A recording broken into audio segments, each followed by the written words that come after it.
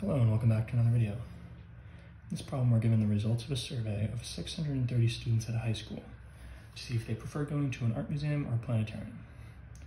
We're saying, based on this sample, so assuming the results would hold in terms of relative percentages, for the total school of 2520 students, how many more students can be expected to prefer the art museum than prefer the planetarium? So what we have to do for this is say, okay, 441 out of 630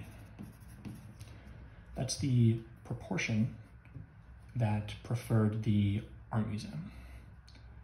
Gonna say, okay, so this is gonna be, divide this out on your calculator, 0.7. So 0.7 or 70%, however you wanna think of it, 70% of the students that were surveyed preferred the art museum. So what's that gonna be for the total of 2520? Well, you can just multiply it. You think of this as 70% times 2520. If you do the math, calculator, you get 1764. Okay, what's out? What else is there? You don't even have to do this because you can just remember that it's going to be 1 minus this value. But you can take this fraction and you'll find out that it's 0.3. This is the proportion that prefer the planetarium.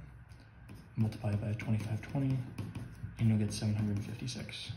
So how many more students can be expected to prefer the art museum? Well, that's going to be this number minus this number. That's how many more. That's the difference between them, which, if you do it out, is to be 1008.